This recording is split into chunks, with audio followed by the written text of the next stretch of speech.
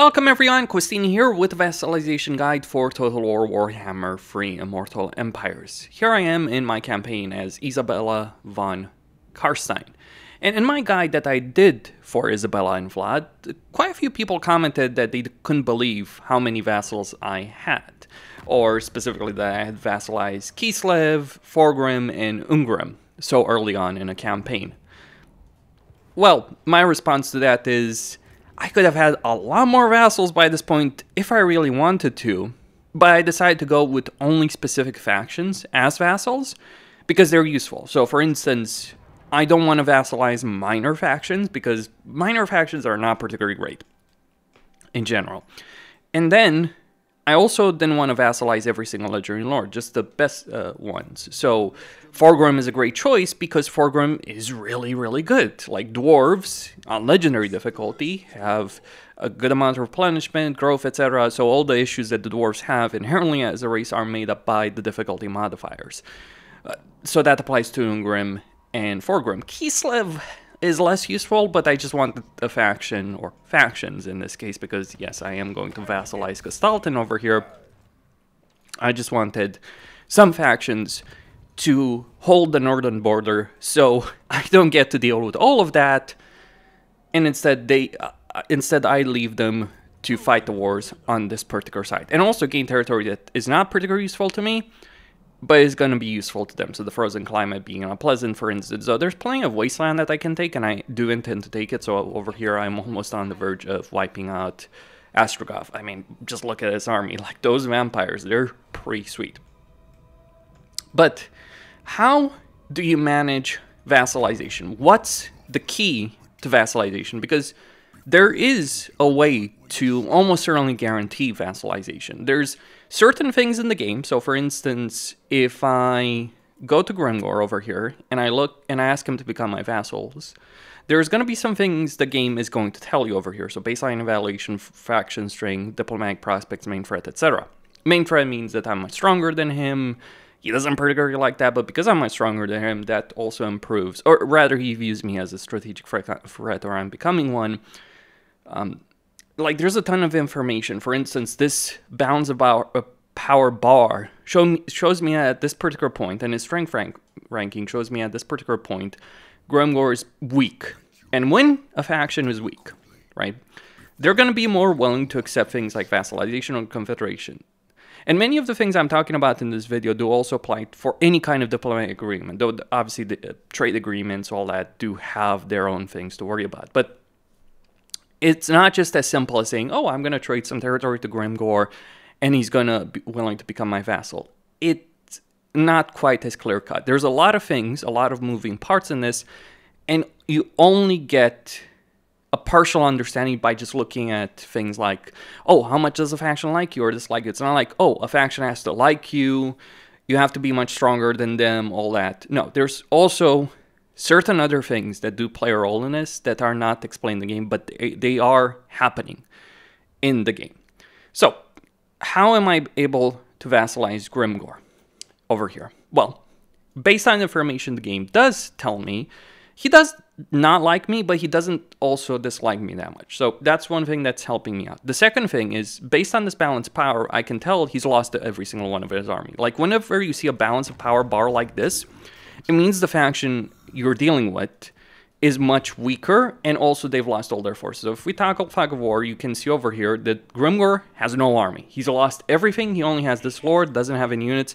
The reason Grimgor of all people is actually losing against Greasus and Zhatan is because I, I assume that what happened in this particular campaign is the faction potential didn't swing his way. So very uh, quick explanation on that. Faction potential, when you start a campaign, certain factions are randomized and others aren't to be stronger. Basically, auto-resolve benefits, various other benefits that they get in a campaign, but essentially they end up winning. So in this case, in a very, very exceptional situation, Grimgor got the short end of the stick and Greasus got the high end of the stick. But there's also more to this. It's not just faction potential. Oh, it's not, oh, it was just a randomization. I also played a role in ensuring this happened in this particular campaign. There, there were things that I did over here that I'll explain that ensured this would happen. Because that's the thing, you gotta understand, it's not like, oh, the random dice generator and that's gonna decide it. No, there are clear cut things you can do to take advantage of the situation. So one of the things I did is I bankrupted Grimgor. Now he has a bunch of money, so if I trade the Demon Stump over here, it's gonna give me 5,000. But for Grimgor, who can have tens of thousands of gold, this is insignificant. And this is this turn, when he has no army. So when I traded the Gates of Zar and Tower of Gorgoth, because I've been conquering this province recently, I basically took away all of his money. And it's only been a couple of turns, but just denying the ability to the AI for a couple of turns to build anything, to, uh, to get new units, to get new structures, means that they'll inevitably lose a couple of critical battles, which makes them weaker, which the fact that they're weaker means they're more willing to bend the knee. It's something you can use for confederations. Like one of the things you can do, and I did a whole video on confederating as Katrin, credit to Mercy the Mad for that. One of the things you can do is you deliberately trade territory to an AI faction that you're looking to confederate, or in this case vassalize, because you know you're bankrupting them. They're at war with another faction. They might win a couple battles, but if you keep them at zero money, they will eventually lose, obviously, because their armies are not infinite. That's simply the case. Uh, that does happen if you take advantage of it. So me trading these two territories, and I traded barracks in them. Like you notice here that Gorgoth, Gates have both barracks. I built those. Then I gave them to Grimgor. The AI values, like when you're trading away a territory, the AI values a couple of things with that territory. So for instance, the Demon Stump over here is worth 72 it's the economic value there that's highly valued. So the reason I'm able to get the vassalization agreement here is it's just an agreement like any other. It has a bunch of negative modifiers that are going to make it harder. So baseline evaluation is that part, which I imagine like if I had better relations with Grimgor, that would be lower. Uh, but still, uh, but still, I'm offering something to him that's very valuable. So uh, what is valuable are military buildings of any kind. It doesn't have to be a barracks, so the barracks is one of these one because you can build it in one turn at the tier 1 settlement. So it's a barracks. And another thing to also keep in mind here with region trading is I'm offering him a uh, full control of this province with this settlement. That's something the AI values. Like the AI wants full provinces. It's not something that's explained with diplomacy. It just makes sense, right? The AI is obviously going to value the, um, uh, full uh, control of a province as opposed to just one region in a province. So that's the reason I'm able to get this diplomatic agreement. I bankrupted him, trade, traded him territory that um, he considered valuable, and now I'm giving him full control of a province, and in exchange, he's going to become my vassal. Okay, and, and it works the same way with confederation. It's just that the final step, the actual confederation itself, you gotta wait until uh, until your diplomatic relation is good enough. So obviously, having positive relations with a faction makes them more willing to confederate or vassalize or something like that. But it's not strictly necessary. Might think it's it is. It helps, but it's not uh, critical. You can vassalize and confederate playing factions or get diplomatic agreements and playing factions even when you hate each other. Like you can have military alliances with factions that you have minus 500 relations with.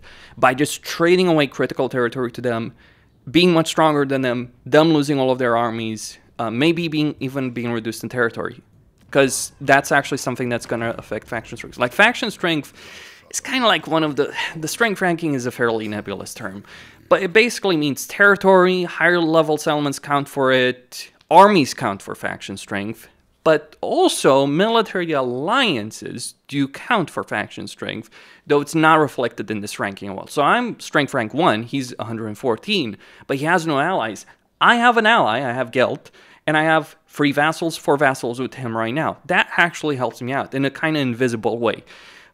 I say invisible because it's not reflected necessarily in the game. Basically, you having allies, you having vassals, you having a good chunk of territory, Uh, obviously the territory and armies you have gets counted, but not necessarily your military allies and vassals, but does count.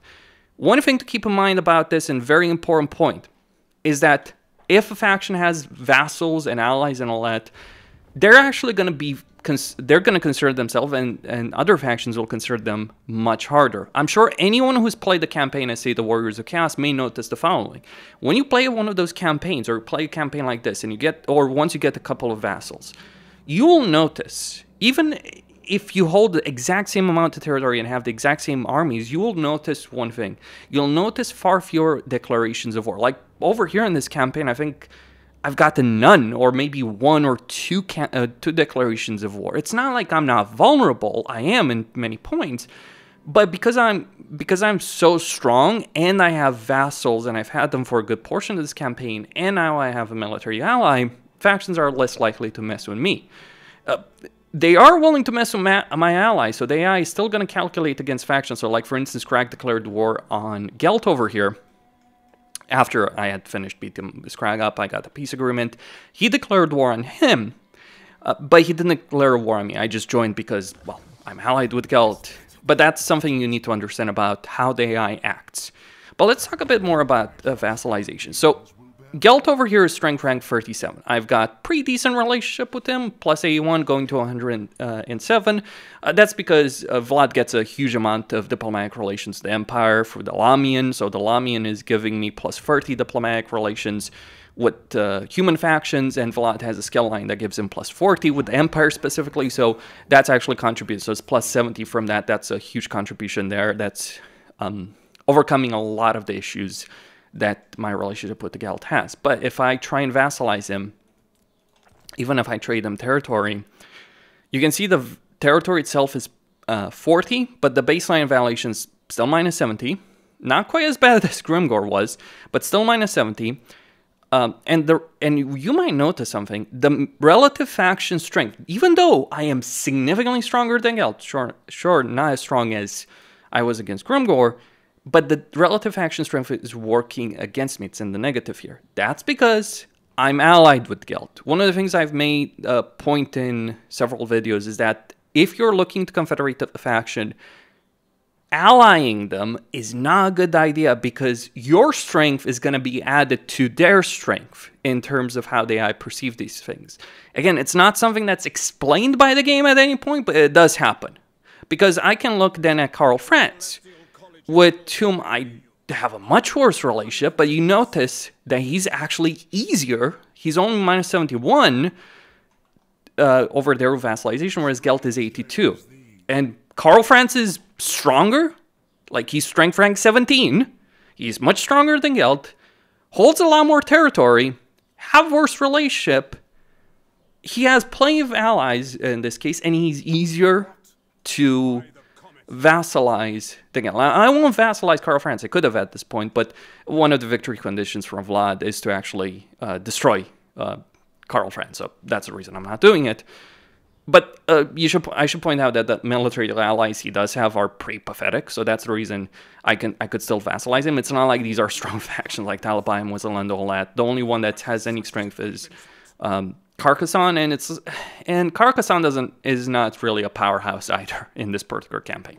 Only a couple of territories, so he's not really strong. But again, he's easier to vassalize than Gelt. So you having a military alliance can really backfire. Of course, the benefit of a military alliance is that you have better relations, so that kind of compensates for it. But basically, one of the key ways to ensure a vassalization agreement or a confederation is being much stronger than a faction because that's how you get them to submit to you. Okay. Other things. Another thing. It's um, those are just some things. So bankrupting a faction, being much stronger than them, them losing their armies because you bankrupted them, trading away territory, uh, full territories, full provinces to them, selling them valuable territory with barracks, uh, which are worth far more than economic buildings. All of that helps, but it's not just uh, that. There's another thing to keep in mind over here, which I'm going to showcase over here with Castalton. So Castalton really dislikes me. He has a minus 129 diplomat uh, vassalization chance, and yet I can vassalize him. Pretty simple. And it's just a layer of the Troll King. Like if I offer him Hell Pit, which is significantly more valuable, you can see it's still minus 100. Like it's not like Hell Pit doesn't have a military building. Lair of the Troll King is a tier 2 settlement versus tier 3 for Hell Pit, so Hell Pit should actually be more valuable. And in every way it should, it is, right? But, um, actually, like, just um, take a look. Let's see if I can trade that. No, I can't. Um, let's use Throgg actually over here. Maybe I can trade some territory away from him. So if we look at Throgg, if I give him the lair of the Troll King, I can get a huge benefit there. If I give him Hell Pit, it's far less. What's going on with that? What's the explanation for it? Is it just the barracks? I'm sure the barracks is va more valuable than any of the buildings I have in Hell Pit, and if I built a barracks over here in Hell Pit, it would be it would help a lot, but it's not just that. There's something else going on. And I'm not quite 100% certain about this, but it's something I've noticed in enough campaigns that I'm my only conclusion is this. Every AI faction in the game, every playable one, every major one, so Kostaltyn, Throgg, Azazel, what they all have in common, the thing that Creative Assembly did is that they've made it so certain territories, certain regions are very high priority for a faction to control. So the reason Kostaltyn is willing to vassalize for help uh, for the lair of the Troll King as opposed to Hell Pit basically boils down to, and you can even see this in game, is that it's just considered highly valuable territory. It says economic value, it's not economic value. So my conclusion with this, the conclusion that I've had, and I've had it ever since I noticed this with Arkhan and Settra, with Repanse spe uh, specifically. So uh, uh, if you play a campaign as Arkhan or Settra, if you take the Great Desert of Araby and sell it to Repanse, she's almost certainly going to be willing to become a vassal regardless of your diplomatic relations because it's almost because it's going to be worth 200 in a diplomatic deal. So my conclusion is Kostaltyn really likes the lair of the Troll King. He wants it. He's hard-coded for this. And you can actually notice this in a regular campaign. If you play as Katrin, for instance, as Kislev, one of the scenarios you may encounter is, let's say, you know, you deal with Throgg, you deal with Praag, you deal with Azazel, so Kostaltyn's not at war with anyone, and Kraka is still alive. Well, in that case, one of the things that's happened many times to me is that Kostaltyn goes to war with Kraka And my conclusion on that is he wants this province. He's hard-coded to want this province. And that's the reason why he's willing to become my vassal in this case, because I'm offering something that he views as being very valuable, and it is for him. It, figuring out which settlements are very valuable to each faction is a tricky affair, but typically I would say the starting province they are in is always going to be highly valuable, though not necessarily in every case. Uh, things, uh, locations that may have landmarks, so for instance, if you Grimgor was to not take a Karak Vrag or he would lose it, and you took it and traded it to him, he would almost certainly want to become your vassal or ally or all that. It would just be worth a lot in the diplomatic agreement. It takes a lot to figure out, but typically you can say, like, if you pay, uh, play a lot of campaigns or if you let's say you play any campaign and you just toggle Fog War and see, okay, which territories are each faction to generally go for, right? Which pieces of land are a faction to go for. So, for instance, with Eltharion, he's always to go for Southern Yvresse. Uh, with Malekith, he's almost uh, certainly going to try and take out Grombrindal, so the Altar of Ultimate Darkness. With Valkia Grand, for instance, all that kind of stuff, that's the kind of stuff you're looking at. And that's the kind of territory that is exceptionally valuable for a vassalization agreement. And this brings me to how I vassalized Ungrim, Thorgrim, and Katrin because it did play a role. All of this. Here's what I did, just to give the explanation. Forget, uh, like with, uh, with Grimgor and Kostaltyn, I explained it, but let me explain how I was able to vassalize uh, Grimgor, uh, uh Ungrim, Thorgrim, and Katrin. So first off, first off, and this is a, a final point, um, obviously, as I said, as I said before, having positive relations with the faction helps. Now, you don't start in a positive relation with uh, Ungrim, but Ungrim does not like Tempelhof. So you fighting Tempelhof from the very beginning of the campaign, something that he likes. It won't put your relationship positive, but it will help. It will help things from deteriorating and start improving your relationship. Uh, he doesn't like Zufbar, so I one of the first things I did, like I took Eschen. This was exactly what I did. I took Eschen, turn one, turn two Tempelhof, and then I moved on Zufbar in turn four, which Ungrim doesn't like. And then I marched over here to Grand Peak, which is controlled by the Greenskins he starts a war with. I declared war on those Greenskins, got some money from Ungrim, and then took Grand Peak with Vlad and Isabella. And then I built a barracks there and traded to Ungrim. And because I had fought Tempelhof, fought Zufbar, fought the Greenskins, he was willing to vassalize with me. If I had gotten a peace agreement to Tempelhof, which you, by the way, can after you smash them up uh, pretty early on, if I had gotten a peace agreement or vassalized Tempelhof, which again you can do, because you actually can subjugate vampire factions. Those are the only factions you can subjugate as a vampire count faction. If I had done that, it would not have been possible because my diplomatic relations with him had suffered. But my diplomatic relations had improved enough. It wasn't positive, but it was non negative enough to prevent it and I was able to do that. That was the first one. Then you got Katrin and Thorgrim. Let's uh, with Thorgrim, he didn't like that I had wiped out Zufbar, but he did like that I wiped out Skarsnik, took this entire province, built some barracks, not all of them. So I built a barracks, I think, in Mongo. But regardless, I built some barracks over here, traded all of this to Thorgrim. That was not enough to vassalize him. But here's the thing that was happening at the same time. Thorgrim was at war with various factions, including Queek, and I had just bankrupted him. So he ended up losing some territory, some armies, or he was at risk of doing so. That made him significantly weaker than me, even if it wasn't necessarily reflected in meter, but it was the practical situation. And then I took Mount Silverspear, built a barracks over here. He's lost at Drazov, got involved in a war, decided to get involved in a war with Drazov. Uh, but took Mount Silverspear, built a barracks there, and sold it to Thorgrim, he was willing to vassalize me because between his weakness against other factions and the fact that I was telling giving him a valuable settlement because of the barracks, not necessarily because his specific AI wants Silver Spear, though I think he usually does. I think he is kind of hardcoded for it. Uh, I was able to vassalize him. Katrin, even easier. Uh, she likes Sungra. And because Ungrim was my vassal, my relationship with him had improved. Like you can see over here that she's actually valuing the gifts that I've given to Karak Kadrin. Because I have given Karak Kadrin territory. Like, uh, started war with Azhag, Ungrim lost some territory, I took this province, uh, and I gave him back this layer over here. Azhag was really smashing uh, Ungrim up here.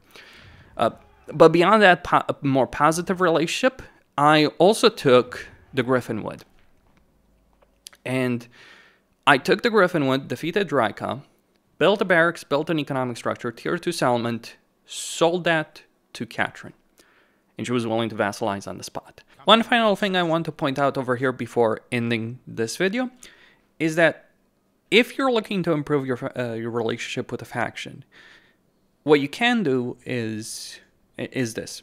Let's say I trade Mordheim to uh, Averheim over here right? So my relation right now is going towards 45. I trade it. Okay. Now that relationship is going to 75. But what if I say had a settlement, another settlement that I could trade over there for Mordheim back? Maybe I do, maybe I don't. In this case, I do. So I can trade Nagenhof because it's more valuable. But even if the value is exactly equal or even lesser, uh, of like if I if Nagenhof was worth less than Mordheim in this case. What would happen here is every time I'm doing a trade like this, I'm getting improved diplomatic relations. And the better the relationship you have with a particular faction, uh, the easier certain uh, certain diplomatic arrangements are going to be though you gotta uh, though it gotta be uh, it has to be pointed out that you know certain settlements uh, may not necessarily be as good and that also it may take a turn or several turns like you may have to wait an extra turn until that improved diplomatic relation takes in uh, takes into effect. So for instance, if I was to end this particular turn right here, I wouldn't because obviously I don't actually want to sell Big Haven to this faction. But if I were to wait one particular uh, turn over here, so let's say we trade that for Big Haven, all that, right? You can see that Uh, certain things are becoming easier and easier right here. Uh, and certain settlements, obviously, higher value. But if I waited an extra turn, my relationship with uh, Averheim would be significantly higher. Could vassalize him. I don't want to vassalize him, minor faction, but just, just something to keep in mind. And yeah, if I ended this particular turn, relationship would be much improved, easier to get a bunch of agreements over here with them if I really wanted to. That is all. Costin signing out. Don't forget to subscribe, like, and enable notifications. My advice on how to use all of this is don't vassalize every minor faction. It's not worth it. You won't gain a lot of money from many of them. Dark Elves are a bit of an exception. Like minor Dark Elven factions can produce a lot of money for you. But in terms of military value, of course, minor factions are not going to be that great. Legendary Lord factions are going to be. And it's better to have fewer vassals with more territory than a bunch of minor vassals with less territory. That, that's my perspective on that. It's just going to give you more. Costin out.